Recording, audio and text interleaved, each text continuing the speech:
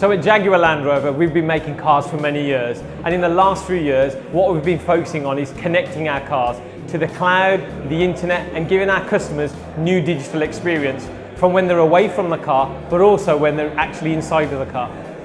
So we've been working with Harman for a number of years, from our infotainment systems to our next generation InControl Touch Pro system, which allows us to have normal infotainment, but also with connected services. They've provided the platform and the framework to allow us to give our customers new apps and connect to the web, giving better productivity, but also a bit of entertainment when you're on those long journeys.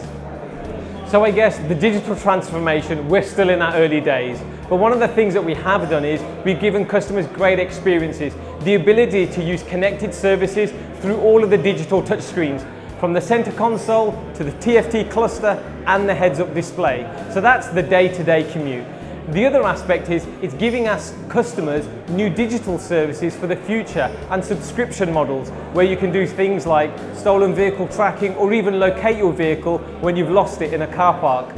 And this is just the start. There's a number of new digital services that we can work together on in the future to actually create the new monetization and data platforms that customers actually want. So the relationship with Harman has been ongoing for a number of years.